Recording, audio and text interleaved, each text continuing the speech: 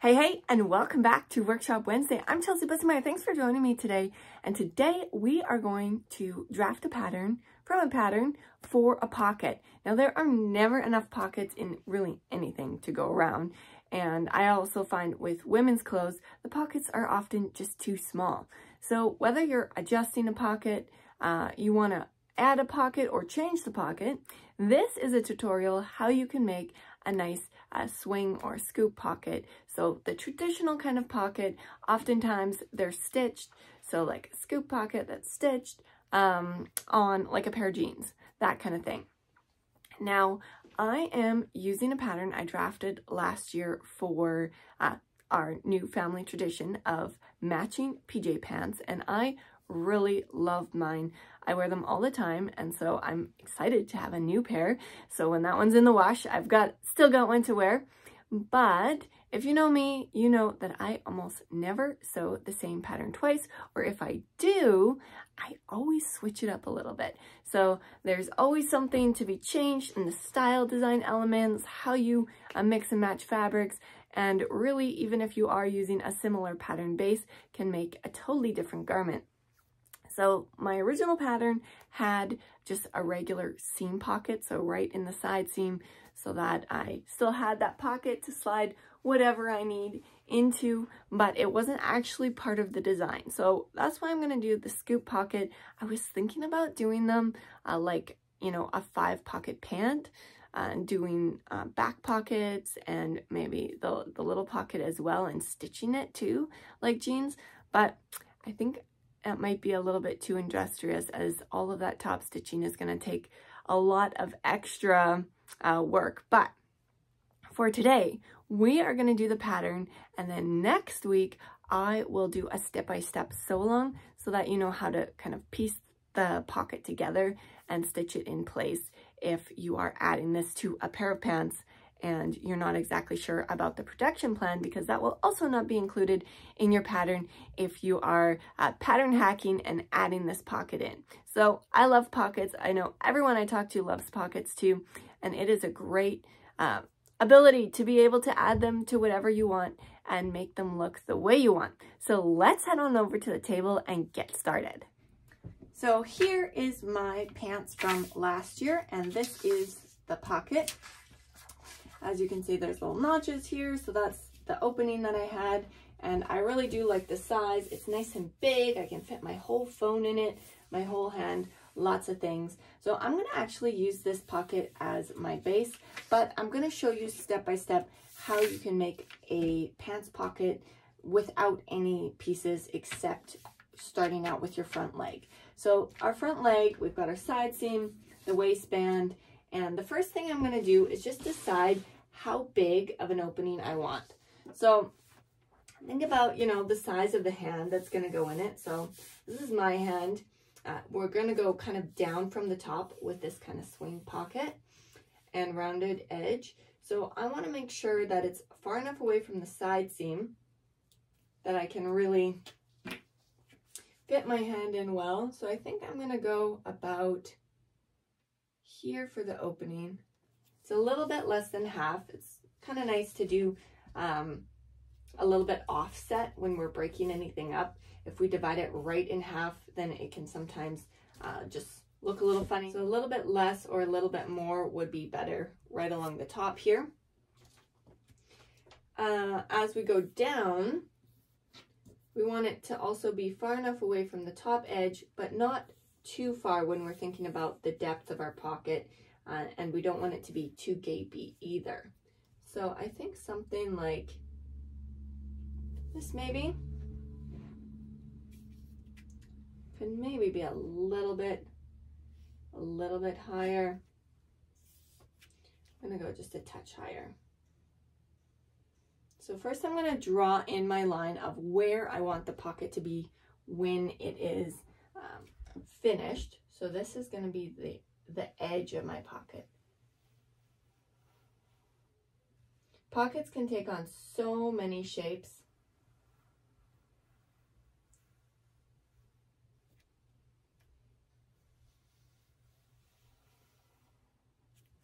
There we go. So it really doesn't matter what shape, if you come down straighter, uh, if you go at an angle, there's the diagonal pockets. There's so many shapes you can do. Whatever you like, just know that this is gonna be your finished pocket edge. I double check with my hand. Make sure you're thinking with the stitch line, so the seam allowance removed. Yeah, I think that will be nice. Okay. So there's a couple ways that you can do this. What we really need is one, decide first if we're going to line the pocket entirely with our fabric.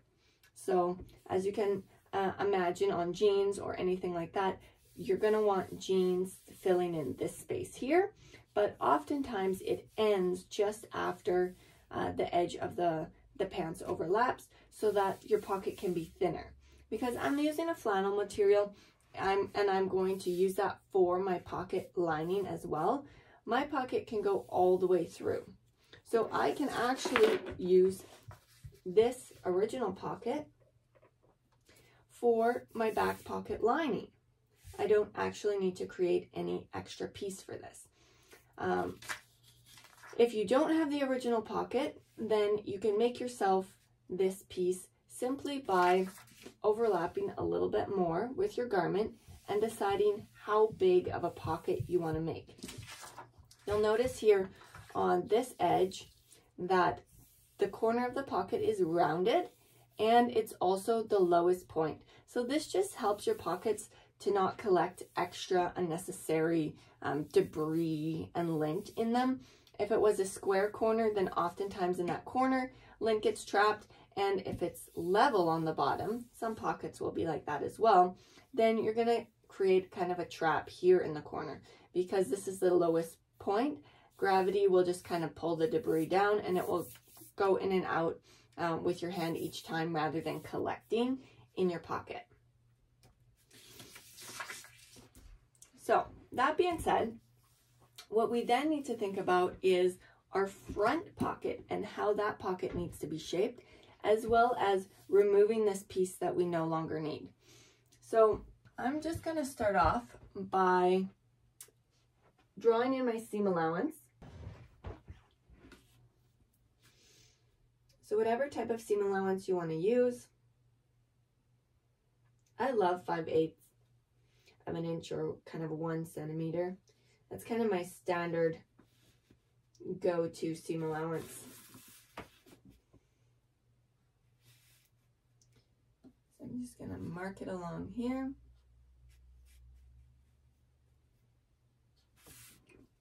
Connect my dots. And I know now this is the seam allowance. I just pre-added it um, to make it easier on myself. Otherwise, if I wanted to use this piece to help guide my making my um, back pocket lining, I might have cut it right along this edge and then added an extra piece of paper. But this makes it easier for me because I already do have this back pocket. When you are creating this back pocket, the thing you really want to remember is just trace the original pant before you cut it out. So uh, one easy method of doing that is simply laying your pattern on an extra piece of paper, tracing it, and I'm just going to overlap a little bit.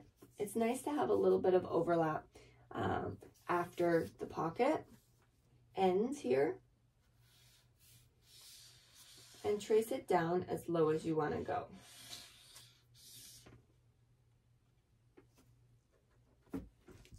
This marker is running out of juice. Let's go with this one.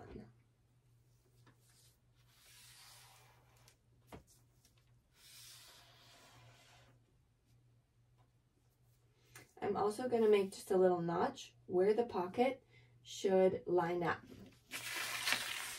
So I know this is where I need to line up the edge of my finished pocket when I go to attach this new piece. And then this is where I would choose the shape of the actual pocket itself, the pocket lining. Oh, this one has a much square corner. we'll round that up a little bit. There we go. So now I've just created a piece of pocket uh, if my pattern didn't already have one. So back to this piece, we're going to cut this off right along the edge of our seam allowance.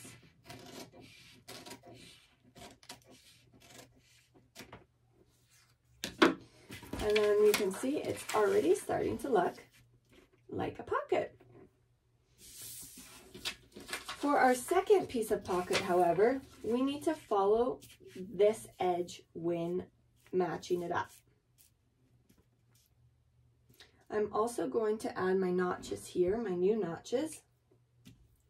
I've got my notches from the original pocket lined up, but I'm going to add a new notch right where the pocket's going to line up. Because if we don't line this up correctly, then our waistband could grow, our pocket could be a little bit at an angle and start to torque our garment, or it could also be, end up getting slid in too much and our waistband getting too small. So having these notches will just help me line up the finished edge of my pocket when I go to stitch this pocket together. So this piece is now finished. And we'll take our paper back. And now we need to do exactly the same thing. Just gonna make sure I have enough paper.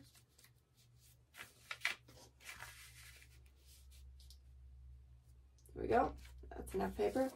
So now we need to do exactly the same thing we did with the top portion of the pocket to create our second piece of pocket.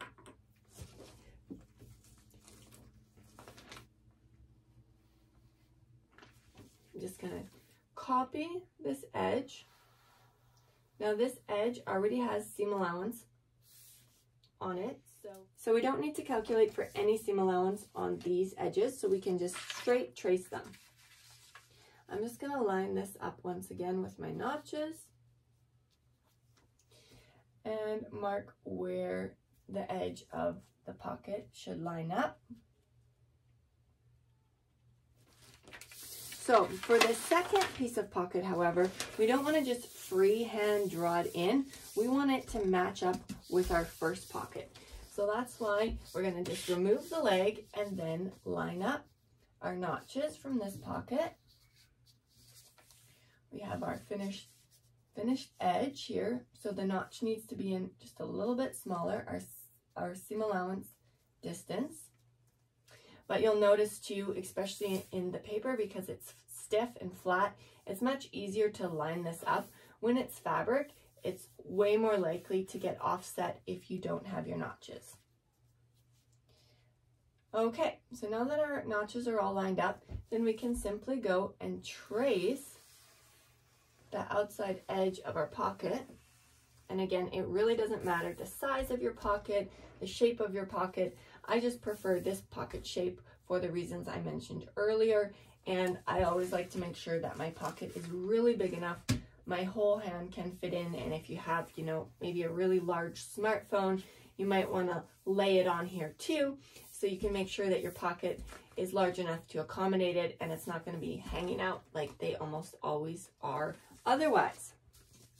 Okay, so now we have our perfect pocket shape for our inner piece. Our stitch line is going to be slightly smaller. I'm just going to freehand draw this on just as a placeholder. Um, but I'll have it have it even when I stitch together. And then we have our outer edge. So I'm just going to mark this with front pocket.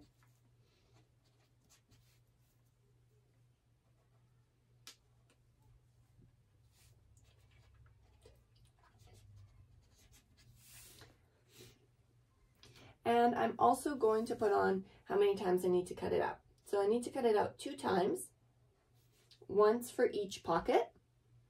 And I'm just to make a quick note what pattern this belongs to.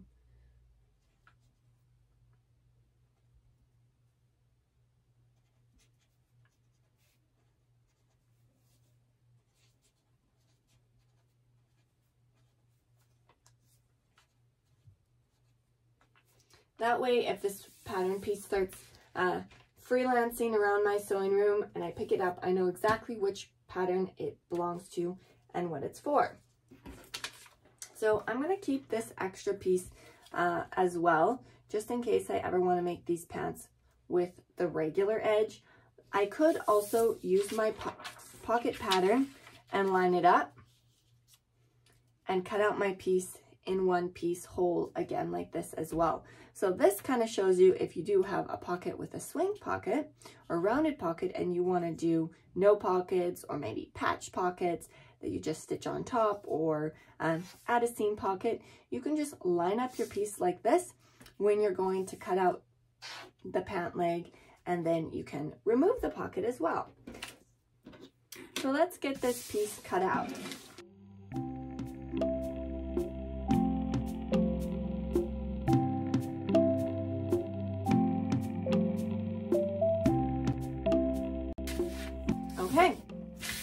We go. We now have all three pieces of the pattern that we're going to need to create a pocket. We'll have these two on the inside. And then we'll be finishing off the edge of the pocket opening itself by attaching it here and then attach both pieces together, close our pocket, and um, it's ready to go and attach to the back leg. So there you have it. Now you know how to make your own pattern pieces so that you can add a rounded pocket to any pattern.